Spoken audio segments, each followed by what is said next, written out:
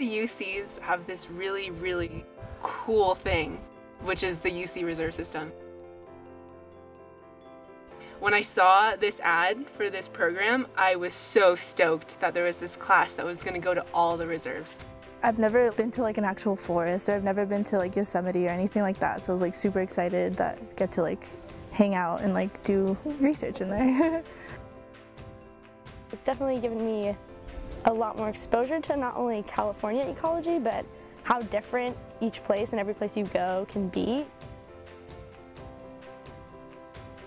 It's seven weeks, it's 50 days, and it is a very intensive 50 days. From day one, we get to natural reserves, and we hit about six of them over the course of the term, and the students at each one learn different aspects of, of how to do science.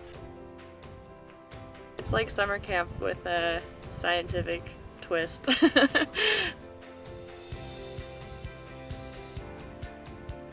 Being outside and just using all five of your senses really hones in the material. I think it's so incredible as a UC student that we have these reserves around the state and to be able to explore them and experience them and do research on them is such a gift. I just find myself looking around going, oh my God! Looking at all these cool places. That's what I love about science generally. It's often thought of as this sort of rarefied community, but it's not that. It's the most open access endeavor in the world because anybody can do it anywhere and contribute to, to what we understand.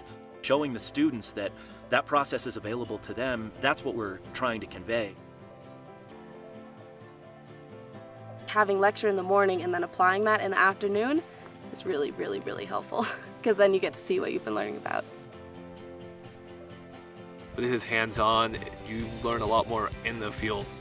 You don't know a system until you start working in it and you start actually looking out and seeing it. I know how to use a transect.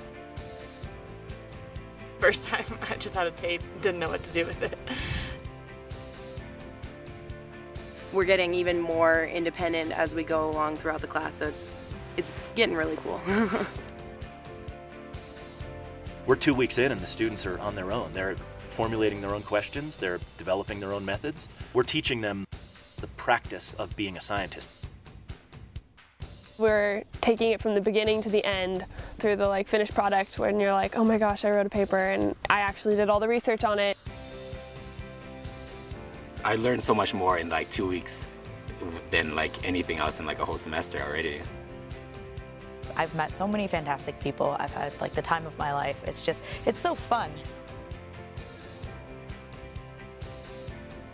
This has been constant rigorous field work and I love it. The field is the place for me.